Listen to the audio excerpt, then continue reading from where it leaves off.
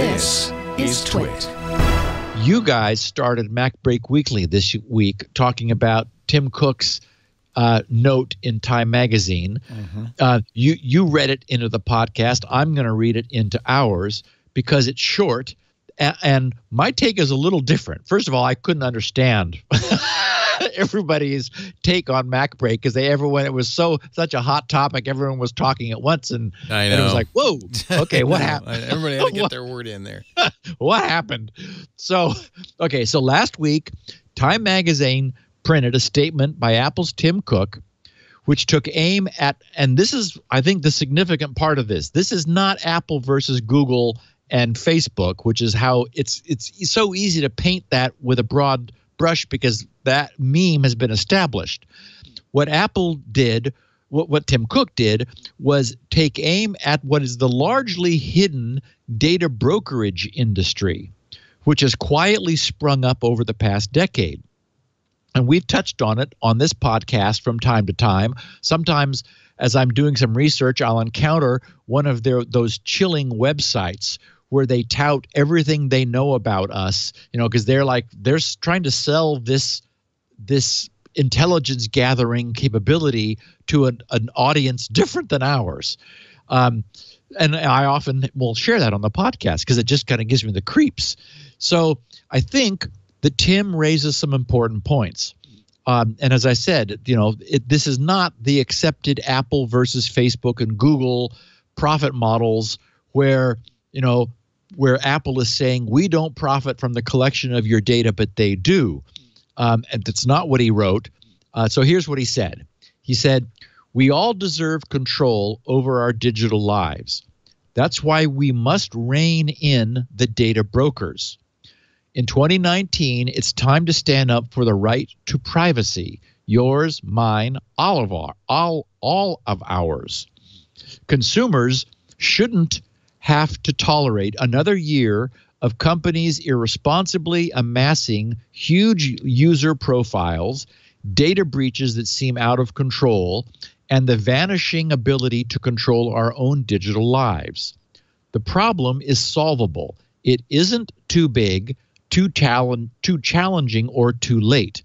Innovation, breakthrough ideas, and great features can go hand in hand with user privacy, and they must realizing technology's potential depends on it. That's why I and others are calling on the U.S. Congress to pass comprehensive federal privacy legislation, a landmark package of reforms that protect and empower the consumer. Last year, before a global body of privacy regulators, I laid out four principles that I believe should guide legislation. First, the right to have personal data minimized.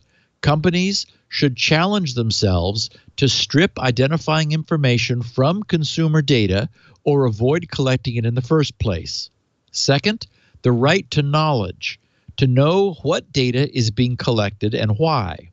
Third, the right to access.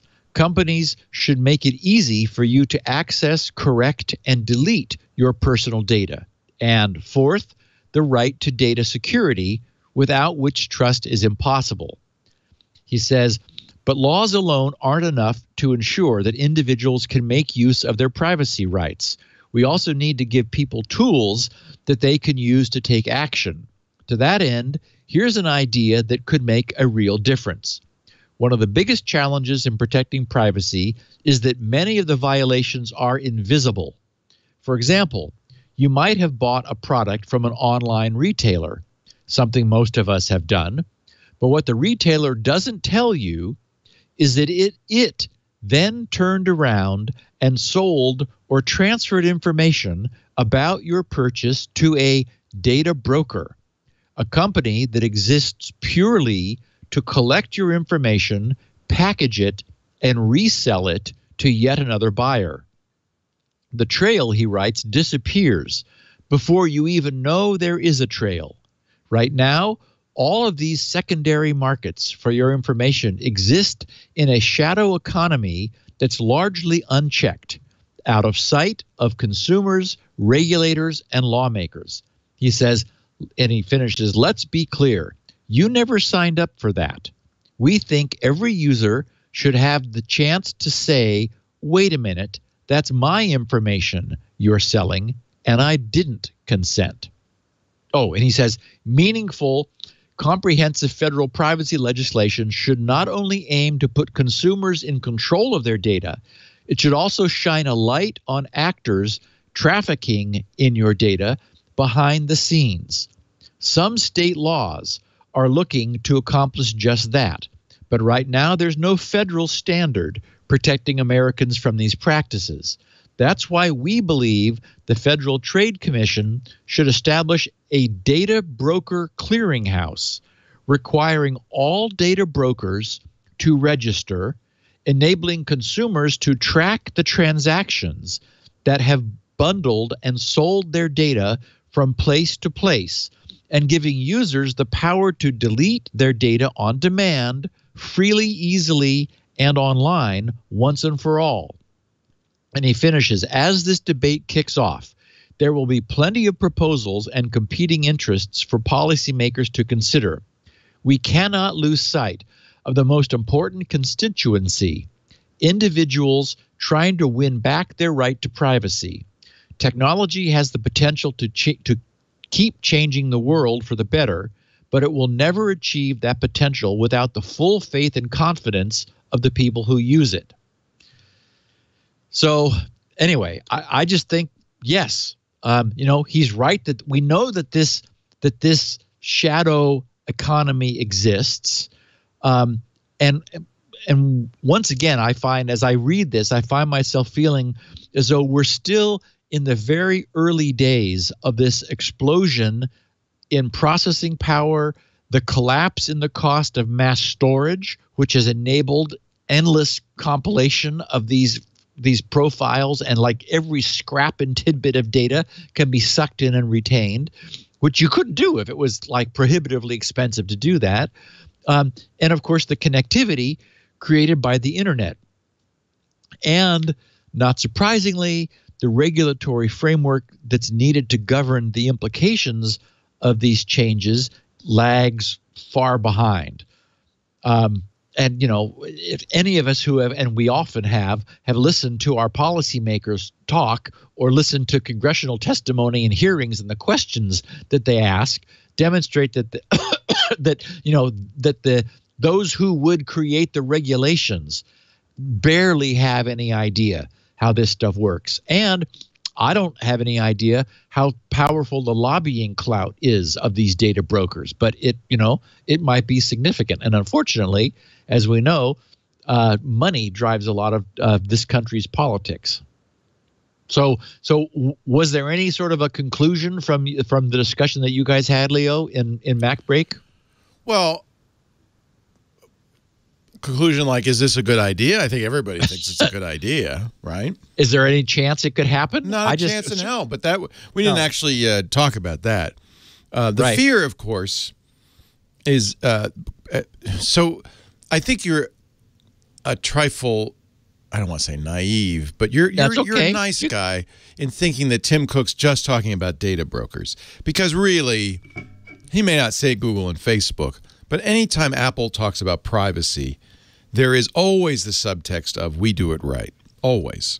Yes, well, So- I do agree that this is brilliant marketing. It's I mean, yeah, this is okay. So you're not naive. Great. You understand. No, no, no. He I may not I, say it I, explicitly, but it's always Yes. about us versus Yes. Google and Facebook. That's yes. you know, yeah, it's about data brokers, but yeah.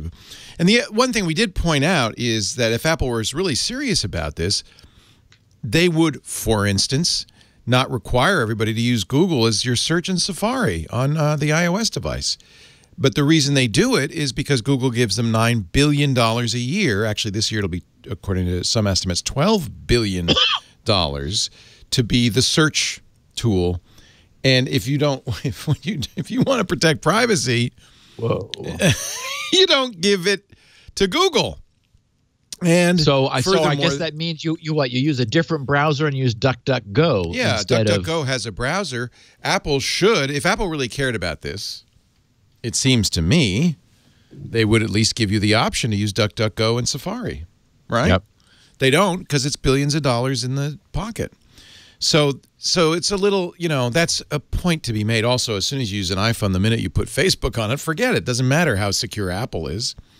You got Facebook on there. You're you're being Yep. spied upon immediately. So that is it's reasonable for Tim to say we want these regulations because, you know, users are going to put Facebook on our beautiful, pristine private phones and and then, you know, it's just as bad as any other phone. Fi- finally, Right. the other thing that we talked uh, about is that one of Apple's big fears, every company's big fear, is not that uh, there'll be federal regulation. Everybody, by the way, including Google and Facebook, are calling for federal regulation, but that the states will. The reason they do that is because the states will individually, as California has, impose their yes. own privacy rules, and then you have a crazy quilt of fifty different rules. I mean, you already have to do GDPR. That's the other thing is that every company that does business in Europe is already doing most of those four points because GDPR. And you probably saw that Google got hit with a massive yeah, GDPR 50, 50 fine. million euros. Yeah. By Yeah. the way, for kind of something dumb.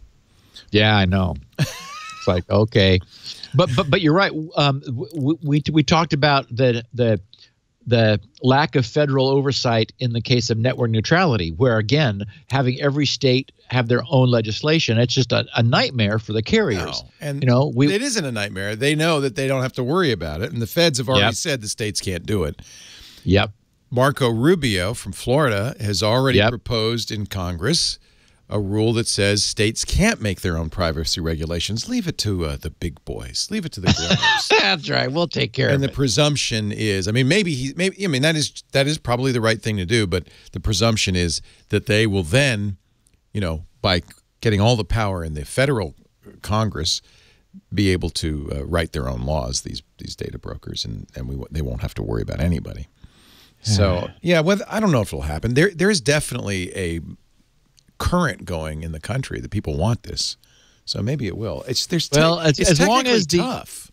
as long as the head of the Data Brokers Association doesn't is not put is not put in charge of drafting the legislation. it rain. Uh, when have we seen that before? That Uh, never let, me, happened. let me think. Yeah, it never happened. I think ultimately Speak- we're going to have to protect our own privacy, and we're going to, you Yep. know, use DuckDuckGo, things like that, right? Exactly, and that's Yeah. what this podcast is. One of the things this podcast is about.